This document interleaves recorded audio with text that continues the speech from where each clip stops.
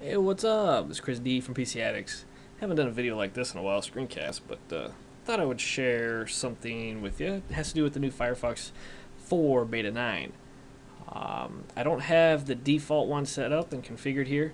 We kind of customize it, and I say we because I'm talking about one of our um, main people here in our chat, ADV computer. We call him ADV. I think it, this means advanced computer. But anyways, um, what he ended up doing is helping me configure my new Firefox to be where the tabs are at the very top, so we get the most screen real estate here.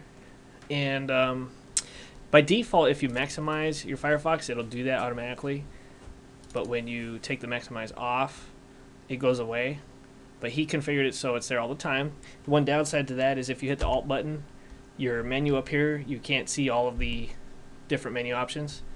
But if you just you know use your arrow keys, I'm I use my down arrow and then right, left, you can get to them all. But how and then also when you come out of it, the tab actually disappears. But if you just open up a new tab with Control T, it'll go back to normal. Um, also, the default orange Firefox button was changed from orange to this gray or you know this transparent black or whatever color it is. Um, he helped me do that too. Some of the cool features here with the new Firefox or the, this beta 4 version 9 is these tab groupings. Now, if I go ahead and there's a hotkey, Control E, or you can hit this little button up here.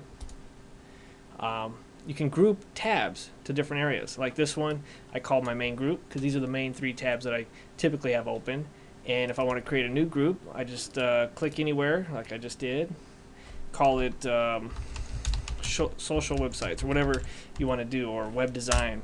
Um, and you can move and drag your tabs in and out of these groups or you can let me see control E.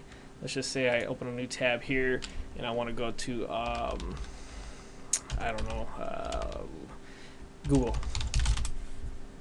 You can add it by right clicking on the tab move to group, social websites, and then when we go back in there, it's down here. And you can resize the tabs and everything. It's pretty cool. Um, I think there's some different options here somewhere. Anyways, just thought I would show you our custom config. And if you're interested in doing something similar like this, like maybe using a netbook or a laptop that you want the most screen real estate possible without having to max maximize your window, um, jump in our chat and uh, uh, one of us should be able to help you out, and specifically ADV, because he definitely knows what he's doing with all this. So, um, hope you enjoyed it.